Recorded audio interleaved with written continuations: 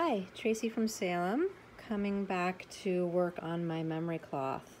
Um, I did spend some large amount of time last weekend attempting to do a video of uh, some of this work I was doing here, and I just I just kept messing it up, and finally I got quite exasperated. Um, so I have done a fair amount of work since the last time I showed this piece.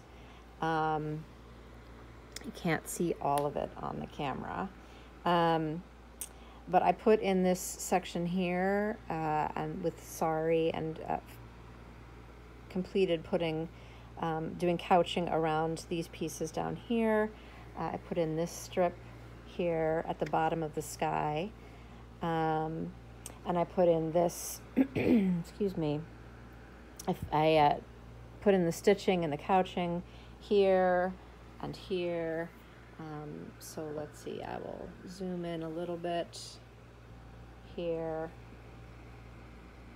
um, on these areas. And I did put in some symbols for my dream. This is a memory cloth. If this is the first time you're seeing this, this is a memory cloth of a journey, um, a shamanic journey uh, that I took.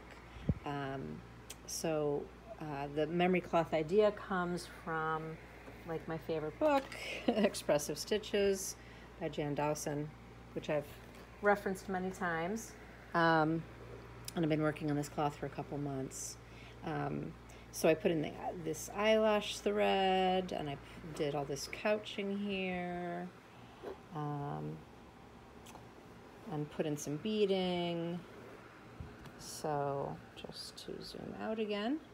Um, these panels are, are pretty close to done. I need, I need to put some thing, some things here.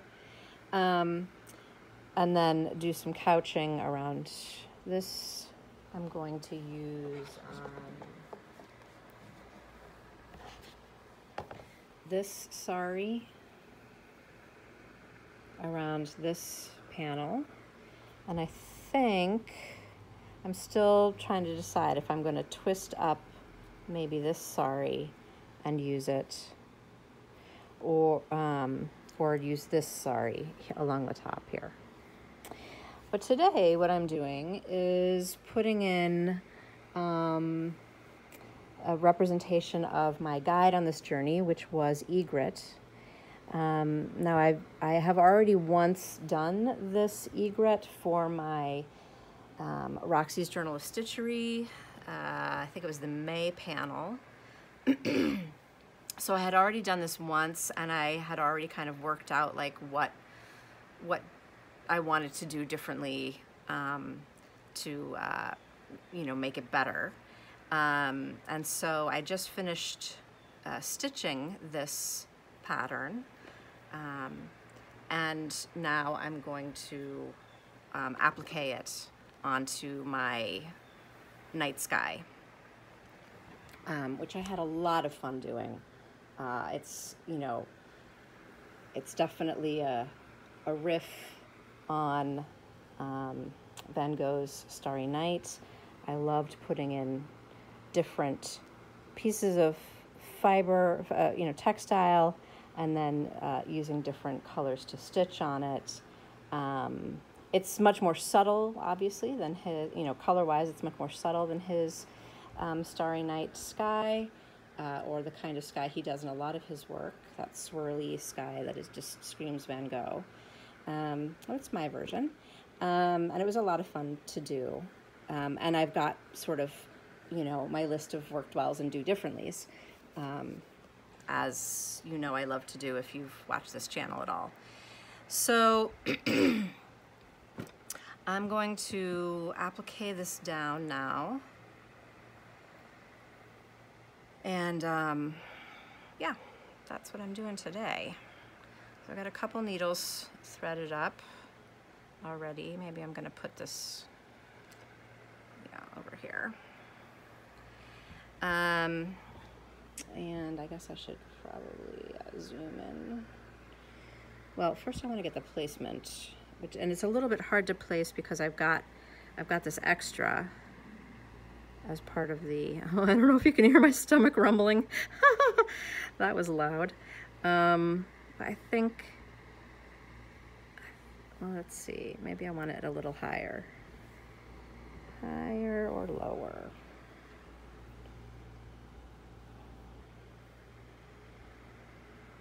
And maybe I want more of this showing. Um, I'm a little less enamored of these colors. Uh, you know, when I was doing the sky, obviously I was trying to gradate, and you know how when it's sunset, there's kind of a strip of bright color at the bottom, and then it gets darker and darker, um, which is what I was going for. Um, but I'm not maybe super pleased with these colors, and so maybe I want to cover them a little more and show a little more of this. Although you know, if I'd planned this out better, so, you know, here, here's one of my worked wells. I mean, sorry, one of my do differently's, right? This is going to get covered. Whether I put it up here or down here, this is really going to get covered. So do differently might have been to move this up, which is to decide on the placement of this first. And then, um, and then have done my needlework accordingly. And so this might have been moved up a little bit so it would show more you know, but do differently for next time. So I think I am going to put it a little bit lower in the sky. But of course, not as much is going to get covered as it seems like because this will be turned under. Um, maybe I'm going to put it even lower. I think that's too low because then he doesn't quite seem like he's flying in the sky, right? Um, there's a certain symmetry to that placement that feels uh, good and in a sense of in the sense of balance. Um, and I could put something along here to, you know, help me like it better. I could do that. Um, I could, in fact, put some swirls down here.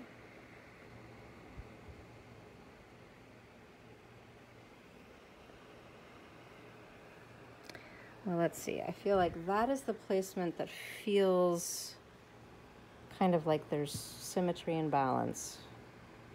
And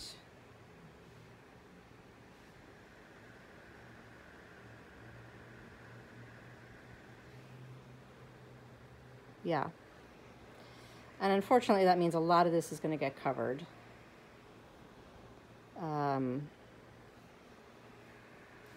and it means I'll need to come back in here, I think, and do something. And I don't know what that is right now.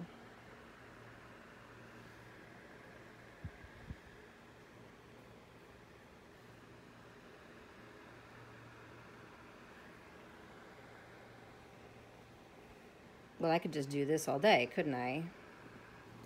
Let's try to make a decision, Blanchard.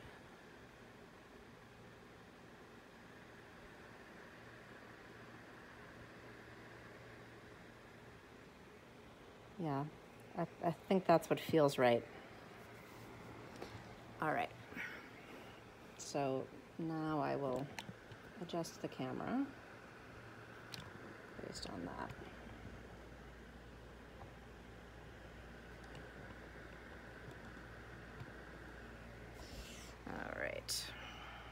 Now, probably should pin that. Uh, I really hate using pins because um, the thread just constantly gets caught on them.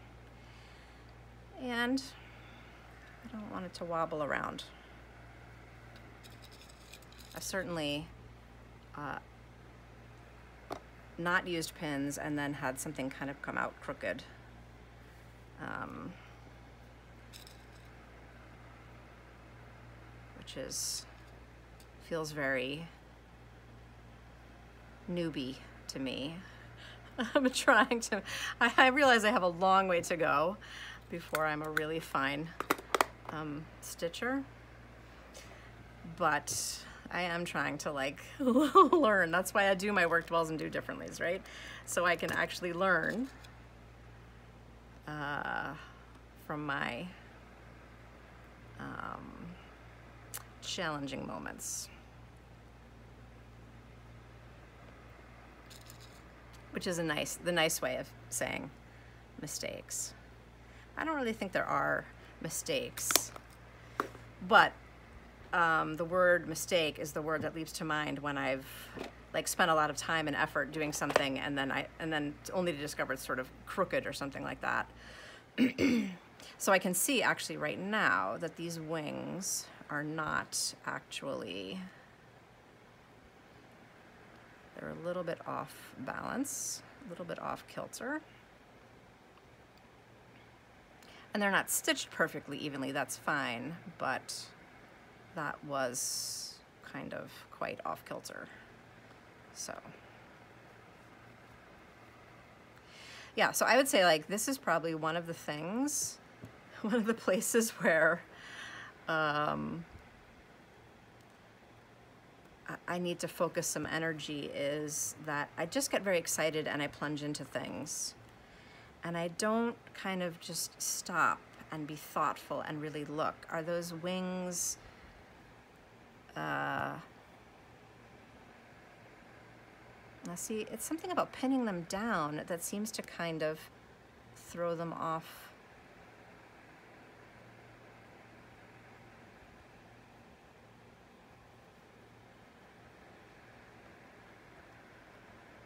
Is why I hate pinning. Right, because I can pin and pin and pin and it still seems off kilter to me.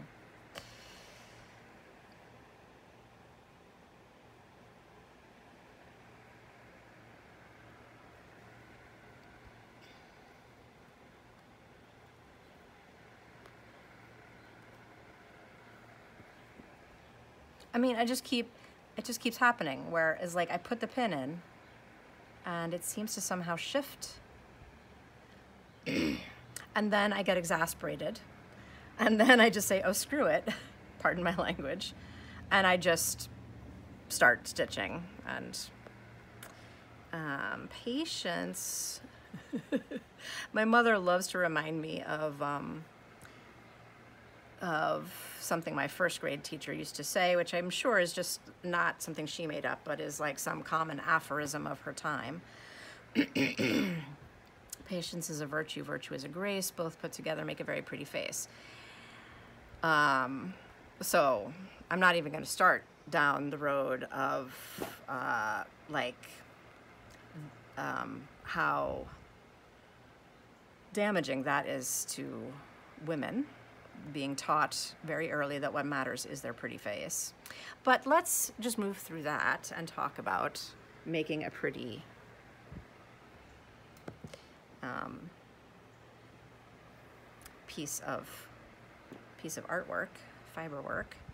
Uh, so patience here is the key to making the piece be beautiful in the way that I want it to be beautiful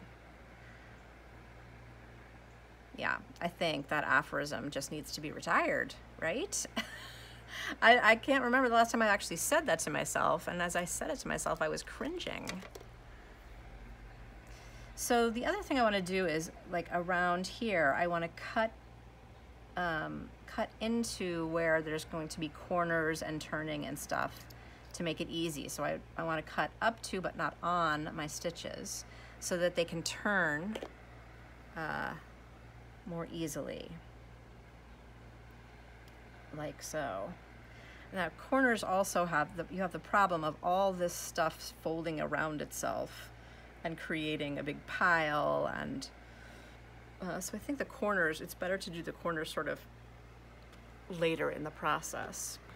Um, so I'm going to turn this and make sure that I'm still on camera because I have a really bad habit of going off camera.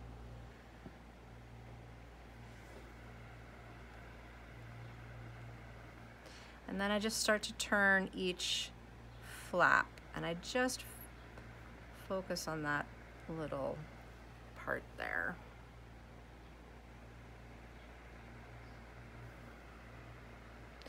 So what I used to um, making sure I'm still on camera. what I used to create the lines was a um, stem stitch and I'm going to just use that stem stitch again to do this applique.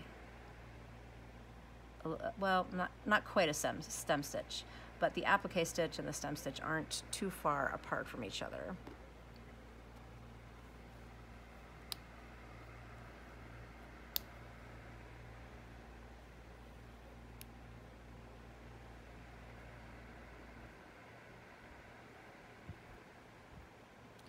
So I just want to go, I want to go, to keep it hidden and not have stitches out here, I'm going to go like underneath the fabric and take just a very small bite and then come it in, come up in my stem stitches.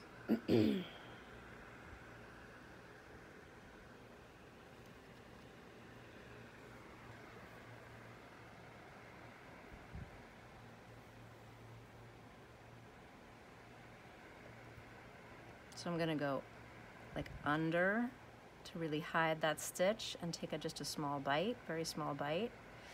So talk about patience. Um, the applique stitch, uh, for my experience, is that if I want to do it well, I have to go slow and I have to take very small stitches um, because I really want to hide um, the stitch under the piece so that I don't have a lot of stitches showing on this part. I also have to be very careful as you can see this um, sheer cloth that I used. Um, what I did was I took this sheer cloth uh, um, oh gosh, what do you call it? A sheer curtain that I bought at the like at the thrift store. Um, and then I put it on top of just this very uh, white, I don't even know, linen or cotton or I don't even know what it is, calico, it's calico, uh, uh, to give it some sturdiness as I stitched my design. You can see that the curtain um, frays very easily and you can see it's like all coming off on here. So I have to just be very careful as I'm stitching not to encourage any more fraying. uh,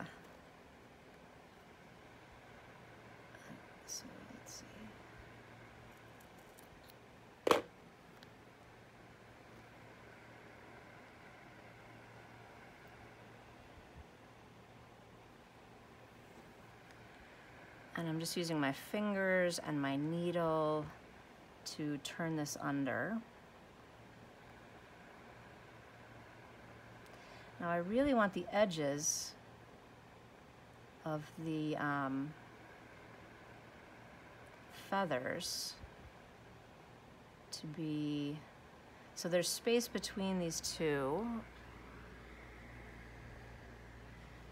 that I really want to tuck under because I really want the edges of the feathers to be sharp.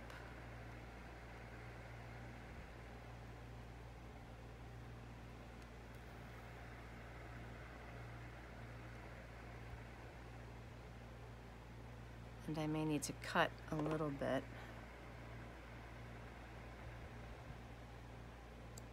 the, the cutting is so nerve-wracking because I really don't want to cut the stitches that I used to create and I don't want to cause a lot of fraying.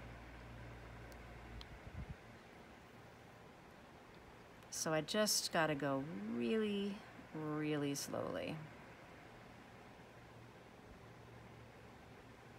And of course this needle, this pin, right in the way.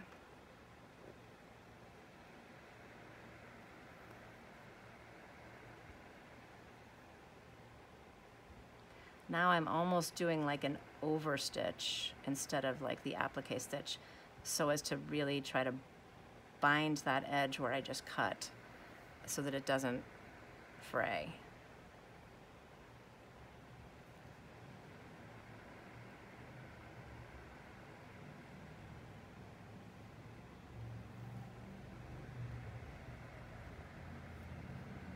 Ugh, this is why I hate pins because it just keep they keep getting stuck. The thread keeps getting stuck on the pins.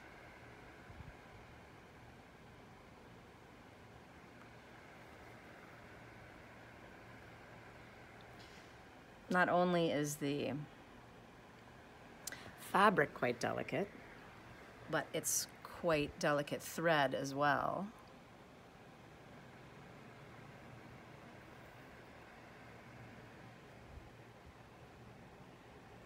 It's a this pearl, but it's super. It's you know it's like lace weight, or I don't know. I, that's what I would call it if it was um, knitting yarn, but I don't know what you call that thread, uh, like a thread, but it it feels lace weight to me. That's the that's the descriptor I'm going to use.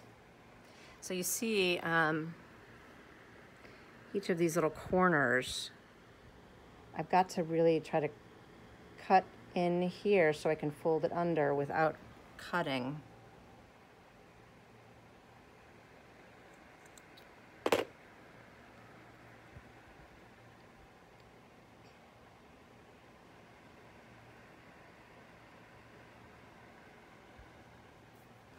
so I think what I need here is this helpful tool because my fingers are just a bit too bulky to really get in there and turn it under in the way that it needs to be turned under.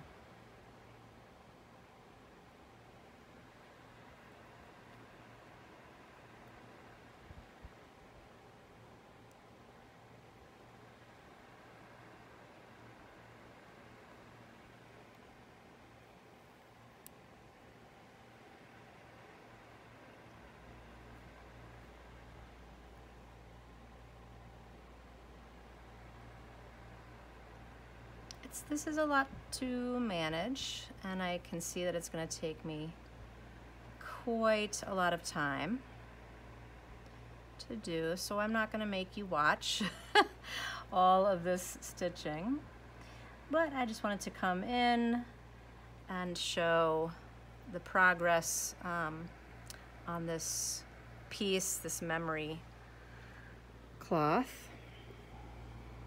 And um, so I'm just going to continue on with that. And um, I'm having a lot of fun because I've, I've been spending a lot of time learning the stitches from Sue Spargo's book because I'm going to her stitch retreat in like two weeks. Wow. Um, and this has just been a great, uh, like I'm loving learning the ropes and learning the rules and learning the stitches really well through Sue Spargo and like her circles and whatnot. Um, I've got some here on my practice cloth um, that I've been working on. Um, and it's been super fun and I'm really enjoying it. But like, this is not really my style. I mean, th this is my style of Sue Spargo because this doesn't really look like what she does. Um, but, uh, you know, just creating circles is not you know, or she does flowers and whatnot. That's not really what I'm interested in, but I but I'm learning the the rules, so to speak, right? The way you learn rules of grammar, so that you can break them better. And this cloth is where I can come and do things that interest me personally um, with those stitches. Um, so yeah, so I'm so I, I'm doing both the things. Um, and here's where things stand with the memory cloth. So I, I encourage you to um, try making a memory cloth. It's really a wonderful, wonderful experience. Um, and um, yeah, I'll see you next time.